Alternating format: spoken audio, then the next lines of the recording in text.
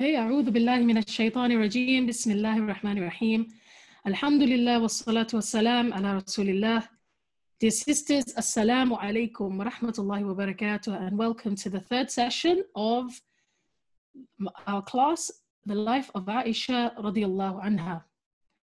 Uh, last session, we, it was the second session and we'd started to look at some of the context uh, around the birth of Aisha radiallahu anha. We looked at um, some of the titles that she was given, uh, some of the names. We started introducing her lineage and her family. And we also looked at some of the books um, about the lives of the Sahabiyat that are out there. Um, inshallah, as and when I find more books, uh, because I do have a lot, it's just they're in all different places. Um, I will introduce you to those books, you know, during these sessions, inshallah, and share them with you. If you have anything you'd like to share, please do as well. Uh, while we're waiting for more and more people to join, I'd love to hear from you uh, where, where exactly you're based. So if you could just type in the chat, you know, the, the cities that you're from, the countries that you're in right now, and then we could get an idea of the kind of makeup of this class. Wow, so we've got Oxford, hello Oxford, Maldives, London, that's where I am right now, West Sussex, UK, Bangladesh, subhanAllah, uh, Maycomb, USA, I, I have no idea where that is. Which state, is that a state? Uh, I've never heard of that place. Um, Cardiff, good old Cardiff. Germany, subhanallah. Cardiff, Wales, Port Elizabeth, South Africa. South Africa, my God. Subhanallah. Uh, Croydon, London, Derbyshire, South London, Philadelphia, from the USA, Cardiff, Staffordshire, Saudi Arabia, mashallah, Riyadh, Saudi Arabia, East London, good old East London, Cardiff, Wales, London, Jeddah, Saudi Arabia, Michigan. Wow, is that how you pronounce it? Michigan, Michigan. I had a friend from Michigan years ago in Egypt. Wales, Philadelphia, USA, Swansea, Birmingham, London, Essex, Greensboro, USA. Wow. Leyton, good old East London.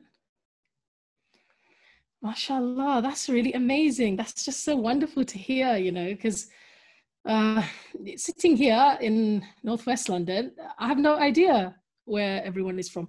And isn't it amazing that the times in which we live, we can unite in this way. We can literally have a halaqa, an international halaqa. It's, it's amazing, mashallah. Ilford. And the thing that binds us, alhamdulillah, is our, is our deen, our Islam, and our love of Aisha radiallahu anha. So, alhamdulillah, may Allah bless this gathering. Thank you so much for sharing that with me. Uh, okay, and without further ado, I will, I'll begin the class. So just to tie up some loose ends from last time, um, there was a hadith that we mentioned last time, which was, uh, we were trying to, I was trying to bring a hadith that would show how the Prophet ﷺ called Aisha radiallahu anha uh, muwaffaqa, right? Uh, that was one of her sort of nicknames, muwaffaqa, meaning the, the one who has tawfiq, the one who has, uh, you know, who is successful, or who Allah has given success to, or given uh, intelligence, you know, tawfiq to. So in that hadith, uh, somebody asked a question at the end last time. The hadith was um, where the Prophet ﷺ had said to Aisha, anha, Oh Aisha, whoever from my ummah has two deceased children ahead of him, Allah will enter him into Jannah because of them. And she asked, uh, she said, I ransom you with my father. And he, it's an expression in Arabic, which means, you know, uh, mm, it's just an expression to say subhanallah type expression, right? And what about the one who has one ahead of him? Uh, so one child who has died before them. The Prophet ﷺ said, and the one who has one ahead of him, O muwaffaqa. So he, he called her muwaffaqa in that instance uh, because of her intelligent question, you know, uh, and her inquisit- inquisitiveness, her curiosity, which led her to ask such intelligent questions, right? And then uh, she said, What about the person who has no one ahead of him? Right? No one who has died before them, no child. Then the Prophet ﷺ said, I will be ahead of the one who has no one ahead of him. Meaning that, and the word in this, in this hadith is farad. So basically, farad is like a person, like a scout.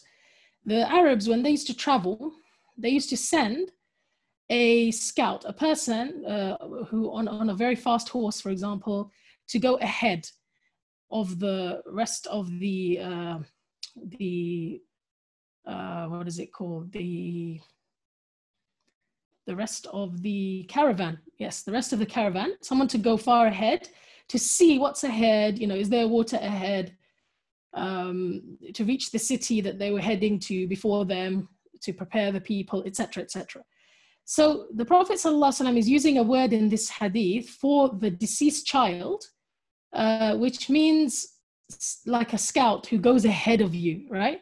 So it's as if when a person has a child who passes away before them, that person, that, that child is like a scout who's gone ahead, right?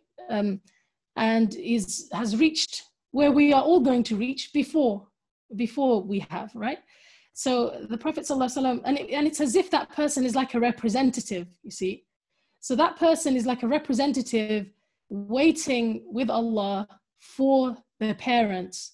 When the parents come, then they will be entered into Jannah uh, because of that person or with that person, right, with that child.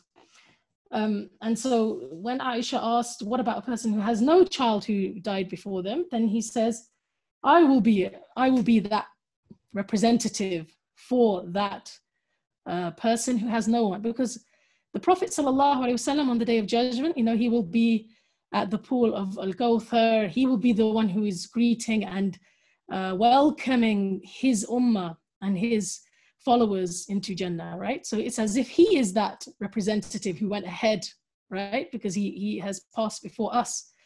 SubhanAllah. So somebody asked last week uh, about this hadith that this deceased ch- child does it have to be can it be an adult child and i looked into this and i uh, researched some of the shuruhat the explanations of this hadith and this hadith is in sunan uh, tirmidhi. And it's actually a child that is under the age of puberty right? So it's if a person has a child has first it says two children who uh, passed away before them, then, uh, you know, under the age of puberty, then inshallah, um, and they're patient, of course, then uh, that child will, Allah will cause them to enter Jannah because of that, you know, because of the loss that they experience and the, obviously the difficulty, um, how difficult it is to lose a child. So although that wasn't strictly speaking a part of, you know, anything to do with Aisha anha. I thought because somebody had asked it last week, um, we should um, address that question and answer it properly. Okay. Um, and what I'm going to do now is I'm going to share my screen. Okay. So can you see this screen, sisters? If you can just let me know. Alhamdulillah, great.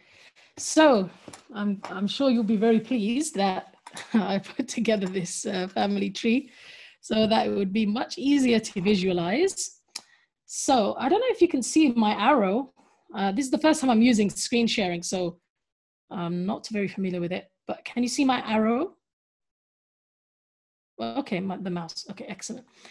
So this is the uh, this is just to illustrate uh, how the family tree of Aisha anha met the family tree meets the family tree of the Prophet sallallahu alaihi wasallam.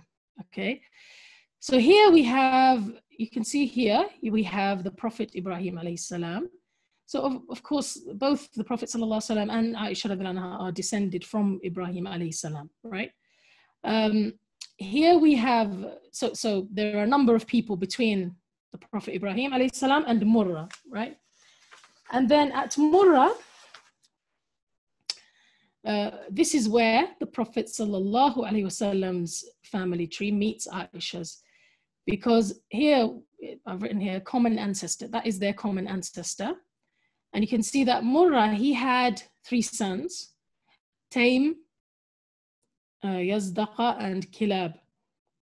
So the Prophet Prophet's family are descended from Kilab. So Kilab, Qusay, Abdul Manaf. Uh, Abdul Manaf, he's the one who, you know, he had Hashim. And so Hashim, everyone who descended from Hashim is Banu Hashim, right? They were the Banu Hashim. Abdul Manaf also, if we went off here somewhere, had another, had other sons. And one of them is uh, Abd Shams, and then uh, he had Umayyah, and then the Banu Umayyah come from come from there. You see, uh, Banu Umayyah are basically like the family of uh, Abu Sufyan, uh, Uthman, anhu, etc. Right? That's just to to get to get you to sort of be able to visualize it.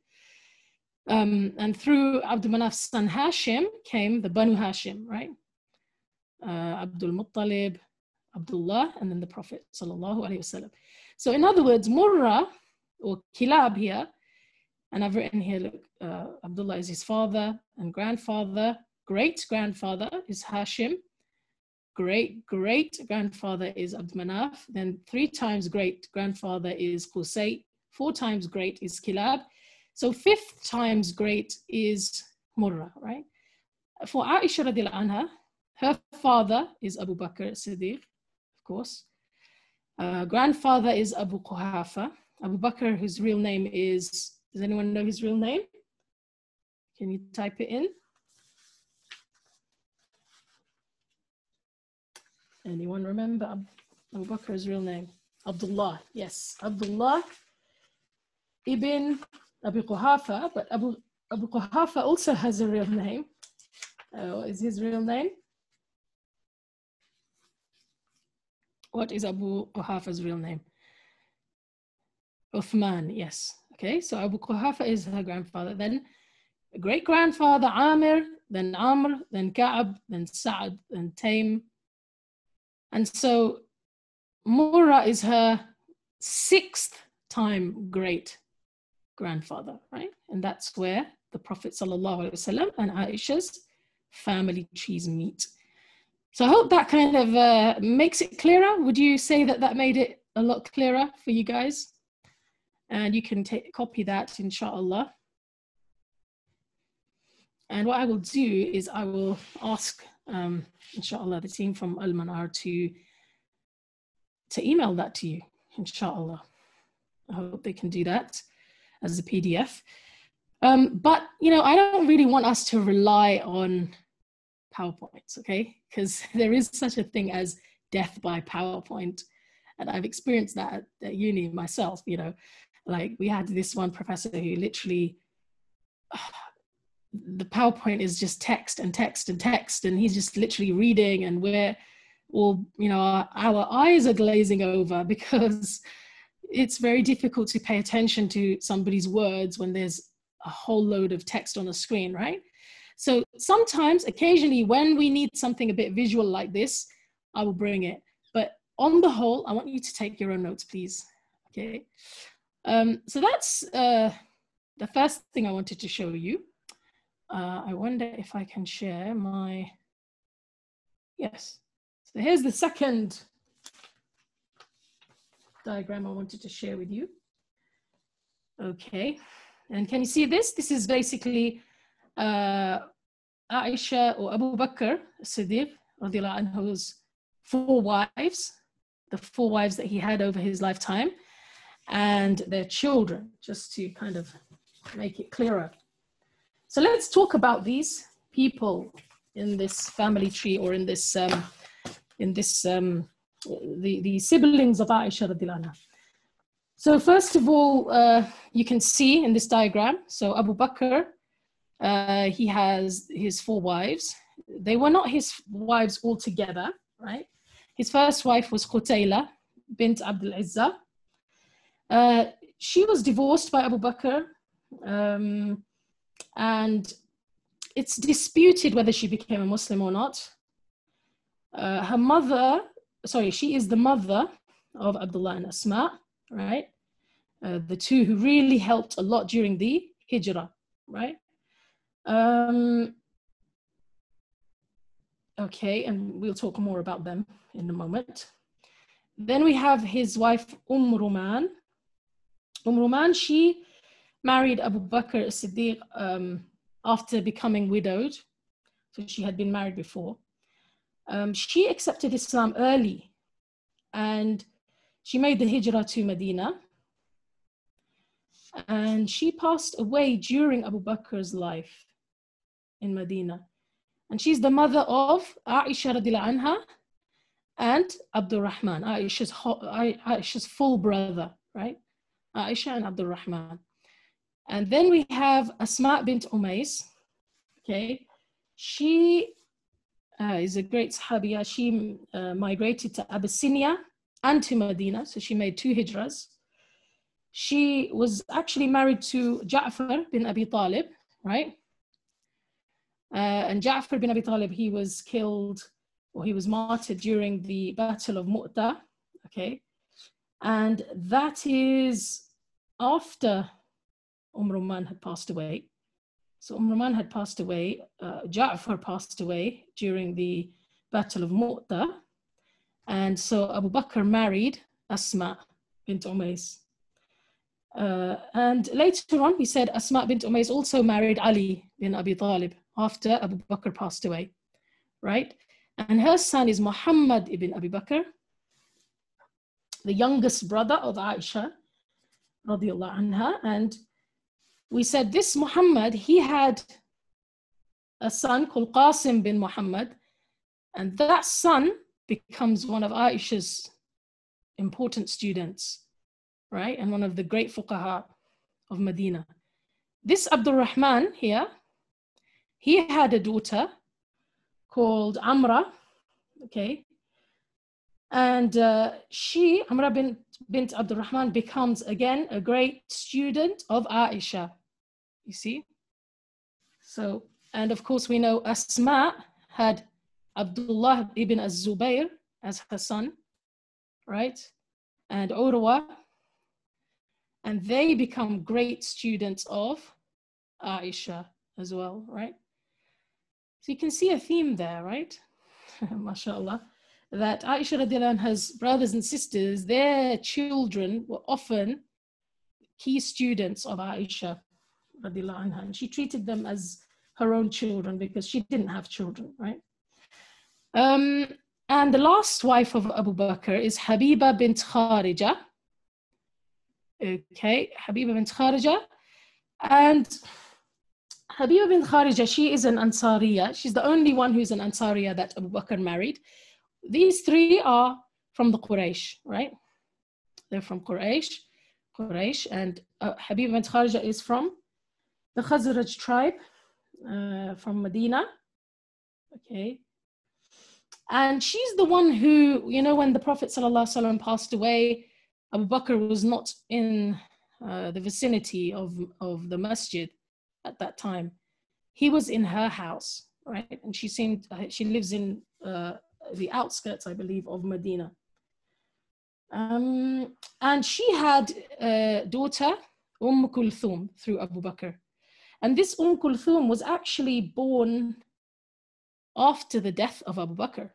Subhanallah. So uh, Habiba bint Kharija was pregnant, was expecting um, when Abu Bakr passed away, and Umm Kulthum was born thereafter. So she is the youngest sister of Aisha radiallahu anha. Um, what can we say? Say a little bit more about each of her siblings. Um, start with Abdul Rahman, who's her full brother.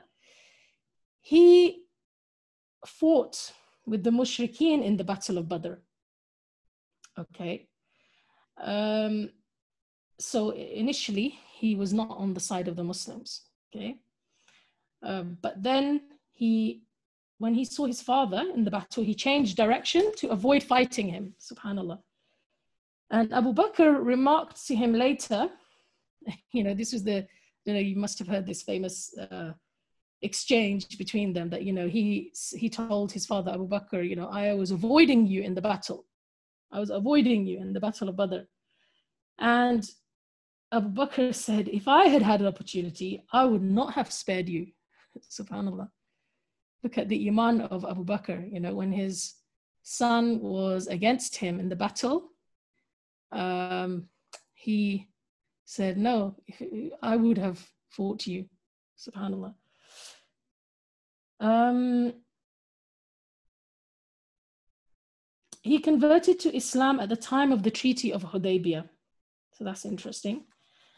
Um, I found out that he, during the Battle of Uhud as well, he had thrown down a challenge for, for a duel. You know, at the beginning of the battles, they used to have those duels, just one on one.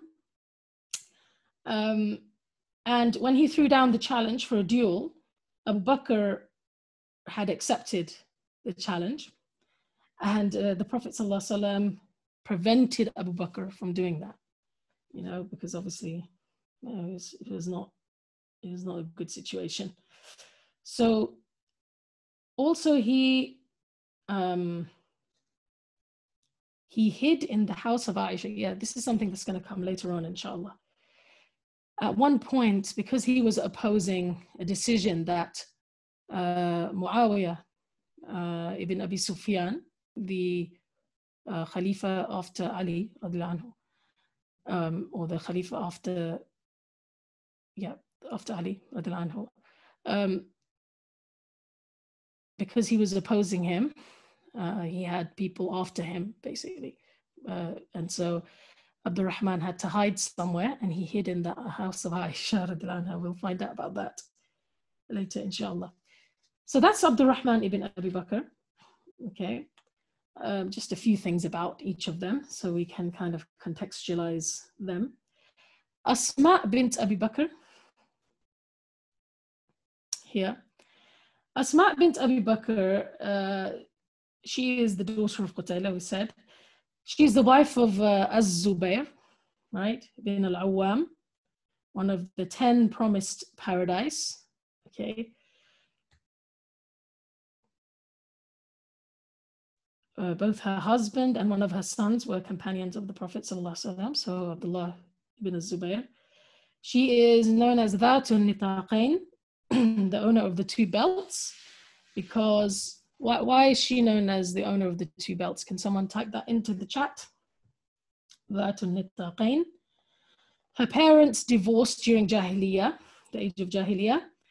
She was about 10 years older than uh, Aisha, radiallahu anha uh, yes, exactly. So somebody has written in the chat that she tore her belt into two pieces. So during the hijrah of the Prophet wasallam, she prepared food for Abu Bakr and the Prophet wasallam, and she didn't have anything to tie the food up with so that her brother Abdullah could take it to them. You know, they were hiding in the cave.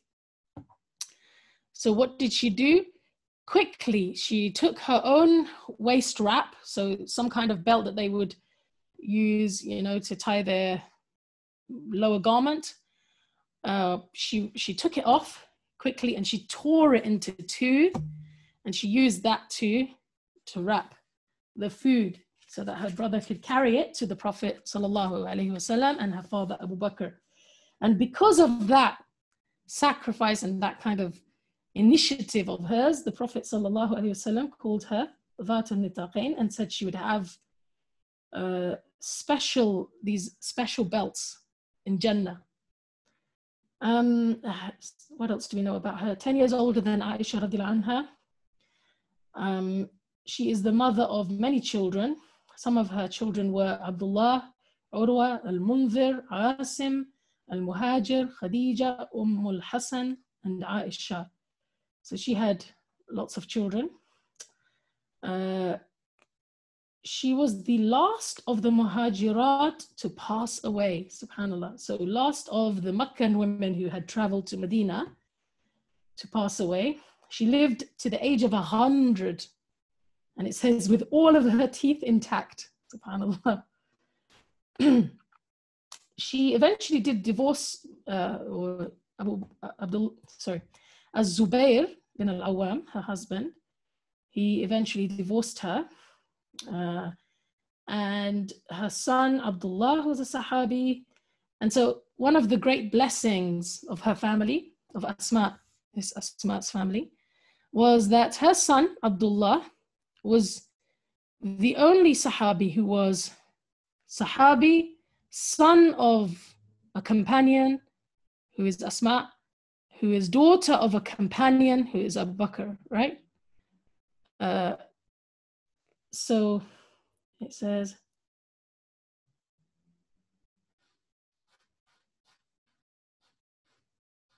yeah, there were th that many uh, generations of Sahaba in their lineage. MashaAllah. And so her brother, Abu, uh, her brother Abdullah, he is one of the early Muslims. Okay, so this is her Asma's full brother, but Aisha's half brother. Abdullah ibn Abi Bakr, he is uh, one of the early Muslims. He is the one who would travel and take provision to the Prophet ﷺ and his own father in the cave during the Hijrah. Um, he had a wife called Atika, who he really was very much in love with, to such an extent that uh, it seemed like he was neglecting taking part in some of the expeditions, right? Some of the ghazawat. And so Abu Bakr uh, basically told him, you know, this is not good enough. You're neglecting your duties, you know, so I think you should leave this wife of yours. She's distracting you away from uh, from Allah. And uh, so he was ordered to divorce her by Abu Bakr but he became so so sad, Abdullah, that he would write poetry in her praise in, in about his love for this wife of his, Atika. And so when Abu Bakr read or heard, sorry, this poetry, uh, it was so, such sad and heartfelt love poetry that he felt sorry for him. And, you know, he said, okay, take, take your wife back. He was martyred uh, due to his injury in the siege of Ta'if, 40 days after the death of the Prophet wasallam during the Khilafah of Abu Bakr. Okay. Uh, we said about Muhammad ibn Abi Bakr, the son of Asma, that he he was not a Sahabi. Well, he was a baby basically. He was a child when the Prophet ﷺ passed away. Okay. Um, you know, he there's a category of Sahaba called the Mukhadram. They are the Sahaba who they were like too young to remember seeing the Prophet wasallam, but technically they were born or they were present or the Prophet wasallam saw them. So, you know, uh, they're not the same, obviously, as the Sahaba who had lived with the Prophet wasallam, who had studied with him, who, who accompanied him, of course. And so these this category of Sahaba are kind of you could think of them as being the highest level of tabi'i, right? So the, the generation after the Sahaba, the tabi'in or the tabi'un, um, the Mukhadram are like the highest level of those because they were technically they had, the Prophet ﷺ had seen them, but they don't remember having seen the Prophet ﷺ. So Muhammad bin Abu Bakr is from that category of people, okay? Uh, we said he's the father of Al Qasim ibn Muhammad, and Al Qasim was one of the seven famous fuqaha of Medina. which we will go into later when we study, when we look at the students of Aisha. He was brought up in the house of Ali bin Abi Talib, we said last time, right? Which is really amazing because, you know, when people try to make out that Ali radiallahu anhu had some kind of animosity with Abu Bakr, you know, and Omar and etc. One of the things, amazing things you'll find is they were all interrelated, you know. Uh, Abu, uh, Ali literally brought up the son of Abu Bakr. He married the widow of Abu Bakr, right? If there was animosity between them, he would not have done that, right? Um, so, and Ali radiallahu anhu really regarded Muhammad as his own son. He made him governor, actually, you know, during his khilafah. Um, we will see there's some controversial things about Muhammad ibn Abi Bakr. Uh, it seems that he was one of the people who were, I would say, upset with some of the things that were happening in the time of Uthman anhu, in his khilafah. And uh, there are reports that he was in some way involved in the, uh, the siege of Uthman's house, right? When his house was being besieged. Uh, but that he was not was not part of the actual, you know, killing of Uthman radiallahu anhu. Okay. Um, during the caliphate of Ali radiallahu anhu, he was the governor of Egypt. And he was killed by one of Muawiyah's men. Okay, Muawiyah bin Abi Sufyan anhu one of his men, uh, Muhammad ibn Abi Bakr, was killed by him because, of course, uh, he refused to um, to pledge allegiance to Muawiyah. Uh, Mukhadram, yeah, we said he's a Mukhadram, the highest category of or the highest category of Tabi'in. Um, too young to remember the Prophet uh, but so usually those who are under seven, under the age of seven, they're considered to be mukhadram, right? And then Umm Kulthum, okay, she, we said she was born after the death of Abu Bakr Siddiq. She was married to Talha ibn Ubaidillah, one of the 10 promised paradise. And what's really interesting is she had a daughter called Aisha, Aisha bint Talha, right?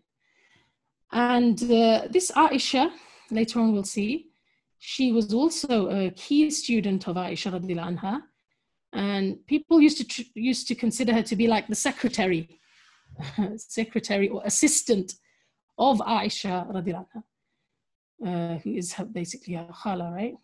So, mashallah. So that's an introduction to the context and the family of Aisha radiallahu anha so these are her two younger siblings. These are, are her older siblings, right? Um, and so she would have, during uh, Umm Ruman's life, uh, Abu Bakr was married to her, and then later on he was married to others. So that's just for us to kind of get a bit of an idea of her family. Uh, so let me know in the chat if you if you feel that uh, mm. that has helped. You know, just being able to see that diagram and if it's helped you visualize things. Okay. Alhamdulillah, that's great. Alhamdulillah, we are visual people. Okay, great. Um, somebody's saying that the volume is low. Uh, do you do you all feel that, or is that is the volume okay? Okay, so perhaps the person whose volume is low needs to put their volume up at their end. Okay. So Alhamdulillah, that's an overview of her brothers and sisters. What time is it now? Okay, Alhamdulillah. So we're going to spend the next uh, 10 minutes, inshallah, um, talking about Aisha radiallahu anha's uh, early memories and also her father, you know, because the blessings of Aisha radiallahu anha, sorry, let me stop sharing now. Okay.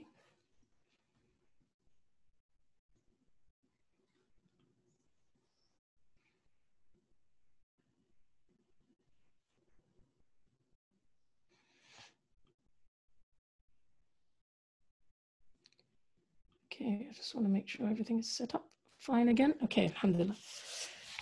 So the, one of the blessings of Aisha radiallahu anha, or all of the things that we could say that were great about Abu Bakr Siddiq radiallahu anhu, we could say about Aisha as well, because she grew up in that household, right? And we said that the household that you grow up in has a huge impact on you. So let's talk about her, her father, her family was from the nobility, so that also makes a difference, doesn't it?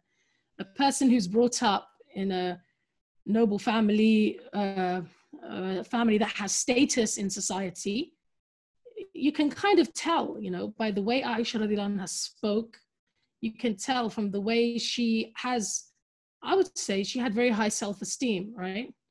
She seemed very secure. The way she speaks, the way, you know, her eloquence, and her eloquence is uh, an indication as well of her nobility, right? The fact that she comes from a noble family, well spoken person, right? Um, it all affects, you know, a, pers- a person's background affects all of that, doesn't it? Um, her family were wealthy. I think that's something also to take into account because I was thinking, subhanAllah, you know, later on when she became, uh, when she was a widow and she didn't seem to have any kind of attachment, you know, to that wealth that used to come to her.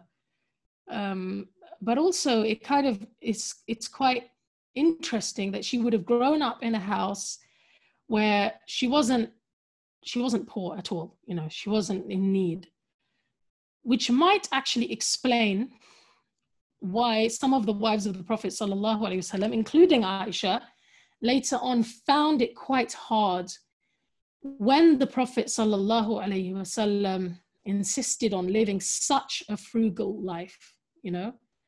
When the Prophet وسلم, was given a choice between being a king who is a prophet or a messenger who is a slave, right? Allah subhanahu wa ta'ala gave that choice to the Prophet and he chose to be the messenger who is a slave. What that meant was that the Prophet وسلم, although he had access to wealth, he was on purpose going to live a very, very simple and extra simple and extra frugal life, right? And that had an effect on the wives of the Prophet وسلم, as they saw the rest of Medina and the rest of the community you know their standard of living increasing and they they themselves were having to live a very very simple life many of them found that difficult. And i was just reflecting on the fact that aisha anha came from a wealthy family you know where she would not have been wanting for anything you know from that time whatever the norm was of a of a good life. She would be have been used to that from a young age right? Her father being a tradesman a businessman, a merchant, and from the nobility. So that kind of could explain why somebody like Aisha anha would have found living that life difficult. And inshallah, we're going to go into that later and we'll see that. You know, although she did find it difficult initially, um, when she was given the choice by the Prophet ﷺ to choose between staying with him and living a very simple life or being given a lot of wealth and being allowed to go, she chose to live with the Prophet. ﷺ. She chose the frugal life and she chose the akhirah. Uh, but this kind of explains why, you know, somebody like her would have found that life difficult. Um, she says, I never knew my parents except as practices of the deen, meaning except as religious people, right? So Aisha anha was born into a household where her parents were already Muslim. her half brother and sister were already Muslim as well, right? Um, some scholars say Aisha anha was the 19th person to become Muslim. Okay. Um, and there were companions in four generations of Aisha anha's family. Yeah, we already mentioned that, right? About Abdullah bin Zubair, especially. Um, during the era of the companions, it would be said, okay, this is what they said about the house of Abu Bakr, that Iman, faith, has its households, and hypocrisy has its households. One of the households of Iman among the Muhajirun is the household of Abu Bakr. And this is uh, Ibn Taymiyyah, rahimahullah, he mentions this in Minhaj al-Sunnah. Okay, so it was a household of Iman. Again, this has an impact on Aisha anha and the way she was brought up. Her paternal grandfather, Uthman, who is Abu Quhafa, right? Uthman bin Amir bin Amr, known as Abu Quhafa, embraced Islam on the, during the conquest of Mecca. So he embraced Islam much later. Uh, Zarkashi mentions that the Prophet ﷺ married no other woman whose parents both made hijrah other than Aisha. And she was distinguished also by the fact that her father and grandfather were companions of the Prophet. ﷺ. Okay, her paternal grandmother so Abu Quhafa's wife, Abu Bakr's mother, Salma bint Sakhr ibn Amr, known as Umm al-Khair. She embraced Islam during the early stage of da'wah. Okay, and she died, so she embraced Islam before her husband. And uh, she died during the Khilafah of her son Abu Bakr. So Aisha's father, Abu Bakr, of course, he had a huge impact on her personality, right? Um, he was the first man to embrace Islam. He was the greatest man after the prophets. He was the best man from the Ummah of Muhammad. Now, when you know that your father is that, that has an impact on you. It makes you feel you have to behave a certain way. You must have a certain standard, right? Um, Abu Bakr never bowed down to an idol, nor drank a drop of alcohol before in his life, nor premarital relations. That's amazing for that time, right? That is amazing for that time because these things were normal for people, right? Bowing to idols, drinking alcohol, having premarital relations, uh, it was not anything. It was not seen as anything in those times. And yet, Abu Bakr Siddiq, of his own volition, right, had stayed away from those things. And that shows you also how similar he was to Rasulullah sallallahu alaihi wasallam, right? You know, uh, birds of a feather flock together. This is why you can see that they had such a good relationship and such a bond, right?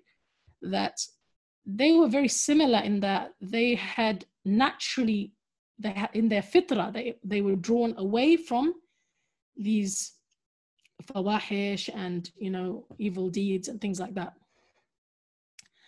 Her father used to free slaves and help the oppressed of Mecca. He spent his wealth and life for the sake of Islam. Siddiq, he was the first caliph as well, we know that. He was the closest companion to the Prophet ﷺ and one of the two in the cave mentioned in the Quran. He was a wealthy businessman. He spent his time and wealth calling to Islam and freeing Muslim slaves. His home was a center of Islamic activity.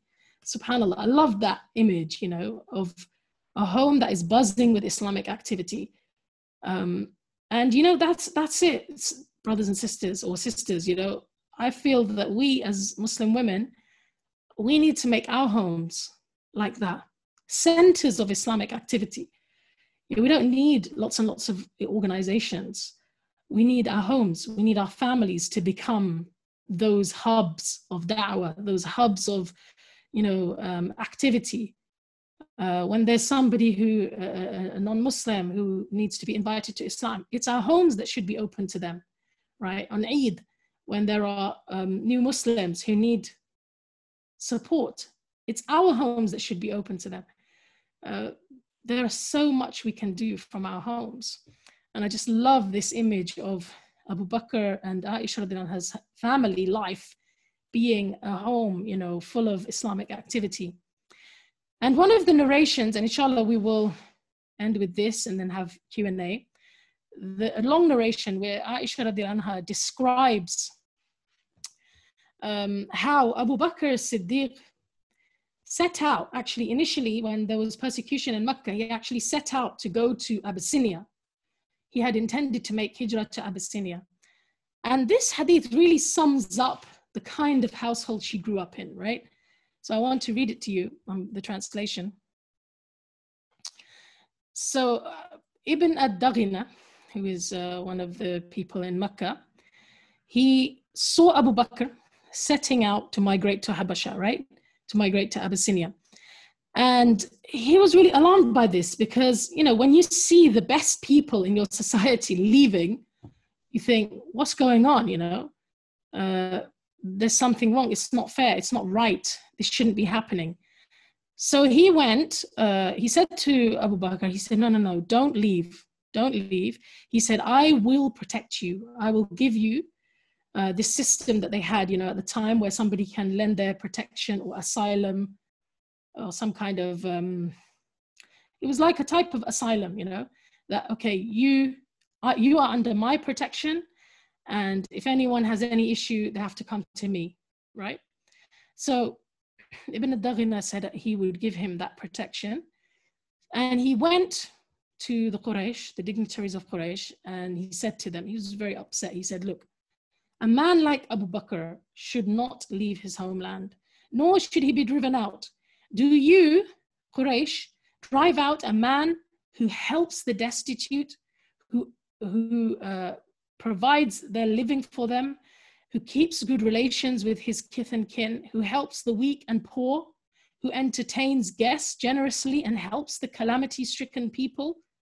Subhanallah.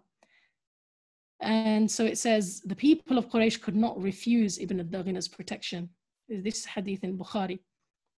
And it goes on. Quraysh endorsed Ibn al-Daghina's covenant of protection, known as jiwar, right? That type of uh, asylum or protection, ensuring safety provided that Abu Bakr would only worship Allah indoors, right? So that was their condition, that Abu Bakr is not allowed to pray in public.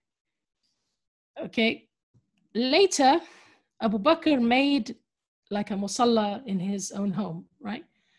Uh, like a masjid or a musalla, not like a big masjid, but just he set aside a, a, a part of his home as a masjid. And so he would be praying and people could see him. Okay. And Quraysh began to fear, and it says in the hadith that the son, that their sons might become attracted, okay, and asked Ibn ad-Daghina to stop Abu Bakr from doing so. Okay. So they saw what, what would happen is Abu Bakr would stand in prayer, and you know, he was so emotional and he was so like his salah and this is one of the amazing things, you know, when a person of Iman, a person of Abu Bakr's status, when they pray, their salah is awe inspiring. Their connection to Allah is so awe inspiring that people would start, stop and watch, right? And so uh, Quraysh got worried that, oh my God, he's attracting the youth, you know, he's attracting the women and the youth. Attracted to Islam because of Abu Bakr. So they went to Ibn al-Daghina and they said, oh, you know, you promised us, they said, you promised us that if we would give, if we would allow him to stay and, and allow him your protection, then he would not pray in public. So Ibn al-Daghina went to Abu Bakr's house and he said, look, he said, I gave you, he said, I gave you my covenant. So either you commit to this or give me back my jiwar, give me back my uh, covenant of protection. He said, Because I don't want the Arabs to hear that I reneged on a covenant I gave to any man. Okay. So Ibn al-Daghina said to Abu Bakr, Abu Bakr said to Ibn al-Daghina, I should say, Abu Bakr said to Ibn al-Daghina, he said, take back your jiwar. take back your jiwar. I'm satisfied with the protection of Allah subhanahu wa ta'ala. That was Abu Bakr Siddiq's reply, right? Subhanallah, you know, what an amazing man. What an amazing man. So I think there's a lesson in that for us as well, you know, us living in the West. One of the things you sometimes hear people say is, you know, in order to protect our rights, in order to ensure our rights, in, in order to ensure that we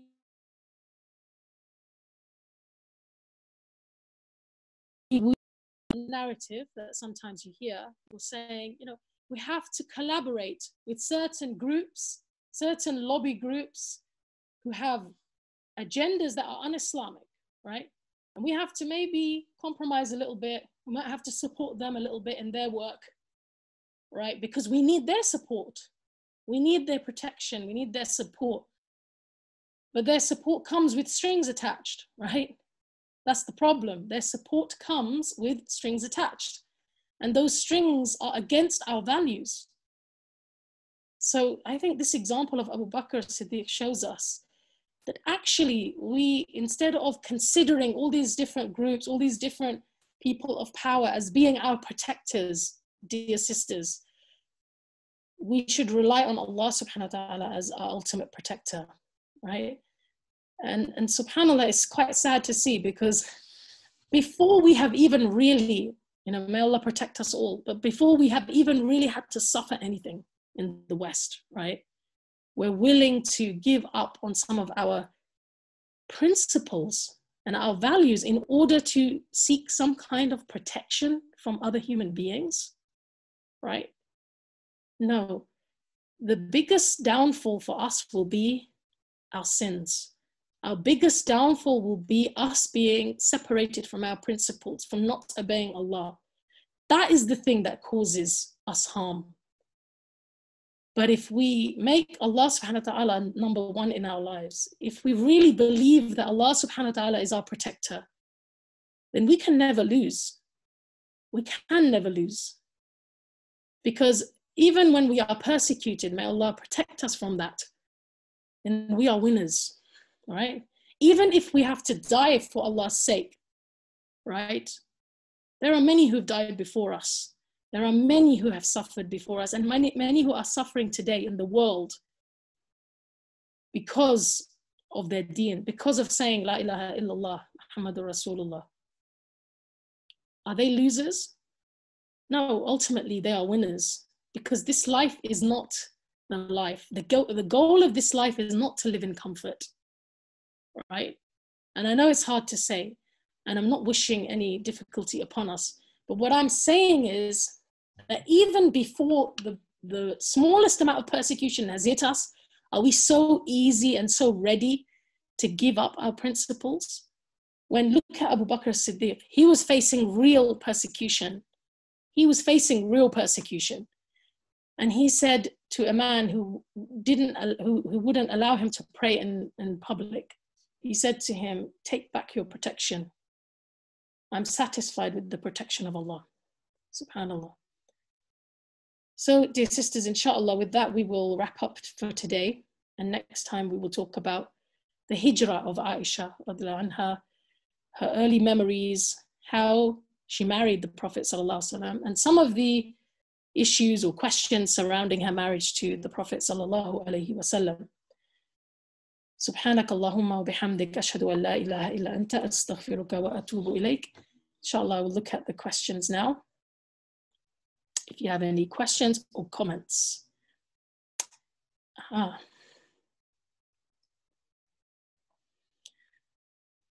Any tips on how we can make our homes the center of Islamic activity? Okay. Well, I think one of the things I witnessed with my own parents is we actually moved house quite a lot during our childhood, you know, and it used to, after a while, it kind of annoyed me a bit, right, that we, we would keep moving because whenever we moved, we would start in a new school and a new obviously you had to get used to a new area, etc., etc., right? But looking back, I can actually see the benefit of that because wherever we moved, my parents were, my mom would gather the children of that area. She would invite them and teach them Quran, right? Um, my father would answer their questions. He would be the one who establishes a masjid or be, is involved in the establishing of a masjid in the area or inviting imams, you know, and uh, allowing there to be qualified imams present uh, in each masjid. Um, they would teach us when we went to school, we would talk about Islam, you know, it was something natural to us. So that's just a little example of how a family can be like a center of Islamic activity, right? Whatever it is that your talents are, whatever it is that your community and your locality needs, we as Muslims should not be waiting for some organization to fulfill that need. We should be fulfilling that need, right? So whether it means reaching out to your neighbors, you know, giving them gifts, giving them a, baking them a cake, right? And giving them some dawah material, uh, whether it means starting some kind of project from your home that each of your children can take part in, right? Uh, whether it means making sure that your children know about their deen, have a strong relationship with Allah, such that when they go out into the world, they themselves are beacons of light, yeah, wherever they go. Um, I think it's for each and every one of us to identify the needs of our local community. What kinds of things could we do in our locality that would bring people together, uh, that we could invite people to Islam through, you know, um, and that we could solve problems of the local community such that people would be attracted and wanting to engage with us, right? We can't, as Muslims, live in ghettos. We can't live in silos, you know completely shut off and thinking, no, we're only going to mix with our own, we're only going to mix with other Muslims, right? That's not how it's supposed to be. Um, I hope that's given you some ideas. Sorry, can you please repeat the part about what they worried about? Mm, what they worried about? Somebody's answered they were worried that the youth and women in society would be attracted to Islam by seeing Abu Bakr pray with such khushu. Yeah. And isn't it funny that that's exactly the worry of people who hate Islam today, right? You know, they're always worried. You can tell they're worried that women will be attracted to Islam because of the amount of demonization that the topic of women in Islam gets, right? Wallahi, sisters, if women knew uh, what Islam would give them, the gifts that Islam gives them a relationship with their creator, a good relationship with men, an understanding of their position in society, uh, the ability to embrace their femininity, right? To not be a commodity. All of these things, right? To have a real status as mothers, as women, to be supported and protected from the cradle to the grave. These are some of the gifts that Islam gives to women if the wider women, if women in wider society knew the reality of what it is to be a Muslim woman, they would embrace Islam. They would embrace Islam. And I think that is why, one, one of the reasons why those who dislike Islam, who don't want it to spread, who see it as a negative thing, are always demonizing the topic of women, women in Islam because they don't want women to be attracted and again, they don't want youth to be attracted, right? So they make religion and Islam in particular look as though it's backward, etc., etc., etc., right? And yet, subhanAllah, who are the majority of people converting to Islam? In the UK, it seems to be women and it seems to be young people. so Ustad, alaikum, please, what was the name of the man who tried to prevent Abu Bakr from praying in public? I mean, Ibn Daghina, he's the one who gave Abu Bakr protection. And the dignitaries of Quraysh, the, the, leaders of Quraysh, they saw that he was praying in public and they told Ibn al-Daghina, tell him to stop because you are the one who's responsible for protecting him. You're like his, uh, I would say, his representative, right? And so, you know, you've got to stop him. So it was like that.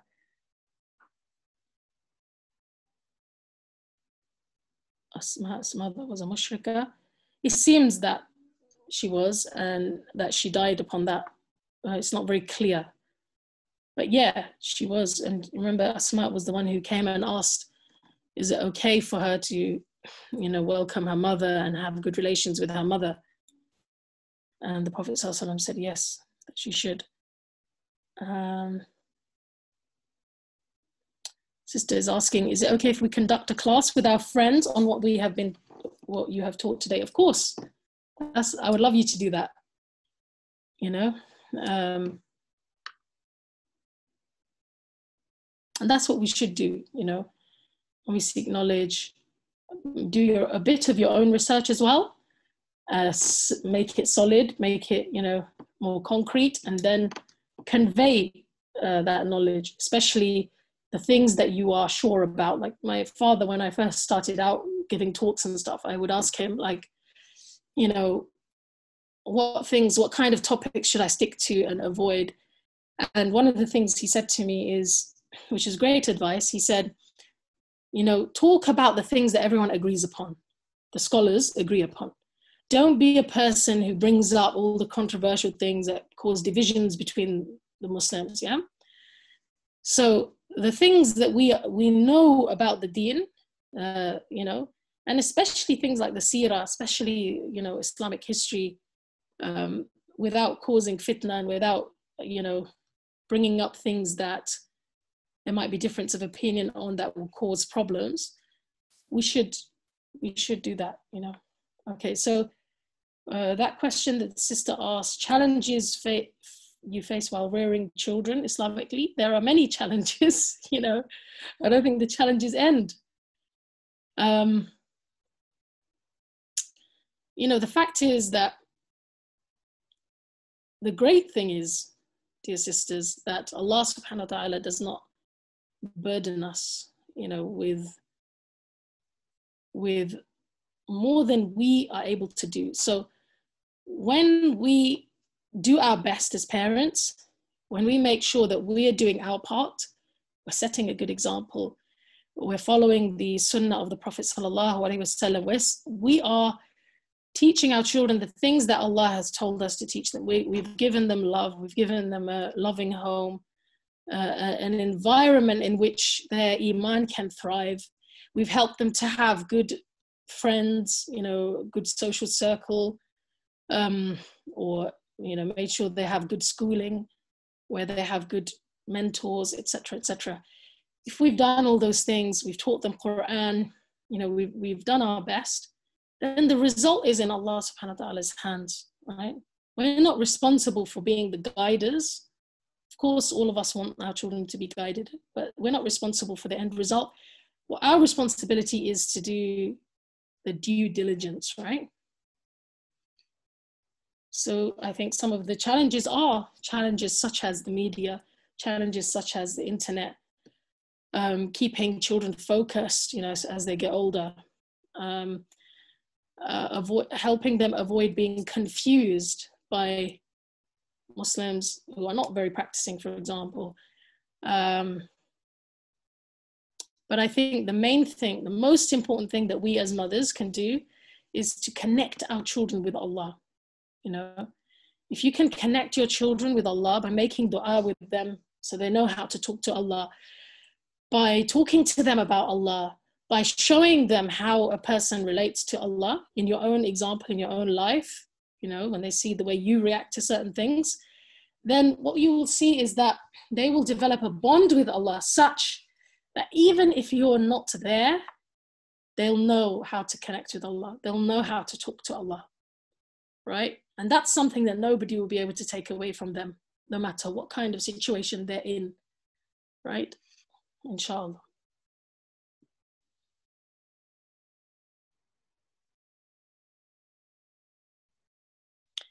is this class open to all? Yes, it is. It is open to all. Um, you can share every every week when you get the link. You can share it with as many people as you want. Okay, so please do share it with everyone.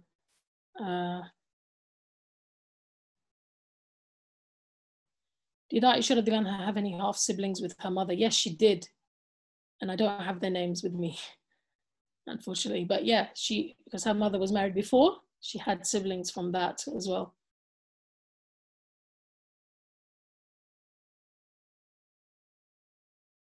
I think that's pretty much everything. One sister says, children learn from what you are more than what you teach. that's true, you know, subhanAllah. It is true. Because just think about your own parents, right?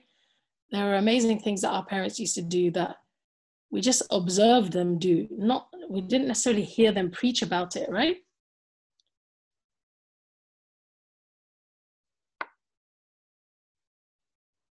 Assalamu alaikum. Assalamu alaikum wa barakatuh. Jazakallah khairan, Sister Fatima, for the very informative session and for answering all the questions that have been asked. Um, we ask Allah to reward you and Jazakallah khairan to everyone for joining us. I know it's a time of Eid that we spend with our family, but it's really important for us to keep our souls nurtured, inshallah, with some Islamic knowledge along the way.